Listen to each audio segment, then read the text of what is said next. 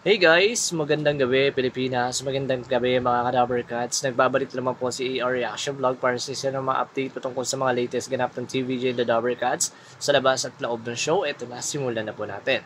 First topic natin for today, nais ko lang batiin.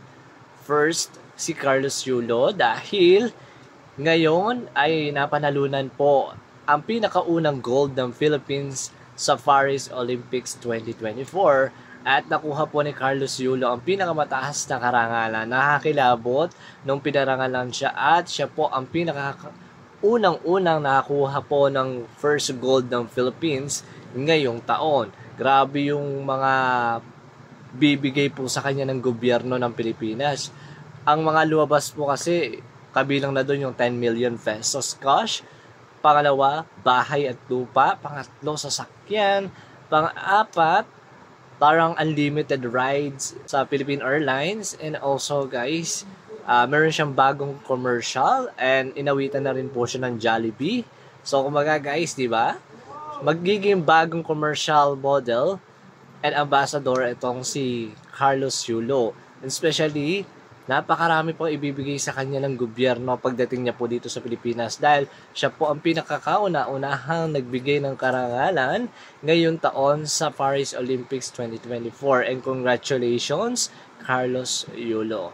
Sa mga cadaver cuts din naman po natin, eto na. Po, ngayong linggo, nakita natin si Karen at ang mga singing queens ay nag-travel abroad. So, ito po yung sa mga pagkakataong long weekend kasi yung mangyayari. After ng 45 years anniversary ng EV, uh, talagang deserve naman po talaga nila na makapagbakasyon. And since Saturday, Sunday, Monday, Tuesday, and Wednesday, so kumbaga guys, apat na araw po ang kanilang vacation leave kasi Monday, Tuesday, for sure, eh, advance recorded po yung kanilang episode ng Itbulaga. Kaya masabi natin, may apat na araw po sila para po magbakasyon. Kabilang na dun yung Saturday ng gabi. Siguro Saturday ng gabi sila nag-travel.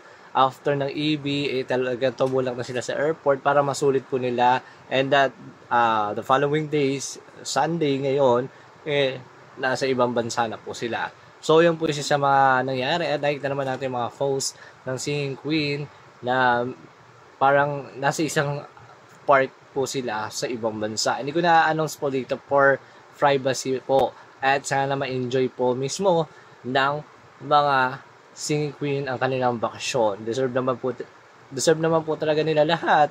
And parang ang, ang nakita ko lang is aapat lang po sila.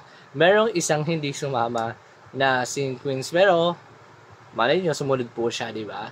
So, aapat lang po kasi yung nakita nating picture po dyan na magkakasama po sila travel abroad. And si Karen Eistrup din is nung Saturday, Saturday din ng hapon, ito bulak po siya pa ibang bansa. And enjoy po kayo mga ka-Dabber Cats at Dabber Cats Queens sa inyong vacations. And sana mag-enjoy po kayo. Ngayon ding Sunday, habang nasa bakasyon po ang ilang mga Queens of Itbulaga. So, isang Queens din po ng Itbulaga ang may taping. Ang aga, ng, ang aga po ng call time because 3 a.m. ang call time nila para po sa Pajak Princess uh, taping. Ngayong Sunday po yan.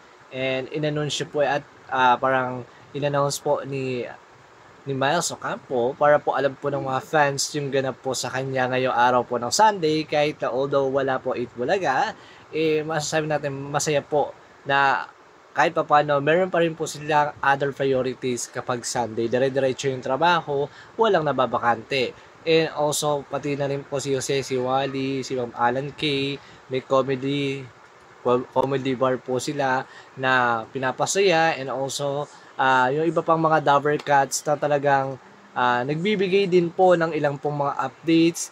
Eh, katulad ni Bossing kahapon, di ba may parang merong bisita silang uh, merong Alzheimer's disease. So, kung yung nakakalimot, di ba? So, kumbaga guys, ito yung pagkakataon na nagpicture po sila dyan at makikita natin yung isa sa mga picture ni Bossing at saka yung bisita po nila kahapon. And also guys, meron pang isa na ginaya po si Bossing Big Soto. Mga looks ni Arthur Neri na ginaya din po ni Big Soto kahapon. So, ayan, makikita nyo nakaka-good vibes po yung mga gihagaya po ni Bossing bawat po nung pupunta mismo sa studio. And, speaking of pupunta, baka this Saturday next week, eh, mayroong bisitang bago sa studio because of May May na kung saan uh, pinakita na po siya last Saturday na gusto din din po makita personally ni Raisa May So kung sino po si May May na pinakita kasama po ni Ellen sa monitor. So mga guys, padami na padami na po mga karakter na kinabibilangan po ng AI family. And sana is mas dumami pa sila at magsama-sama po sila mismo sa It Bulaga Studio. So hanggang dito na lamang po isa update natin ngayong hapon at gabi na to. And thank you guys for panonood and see you for my next update video. Bye-bye guys!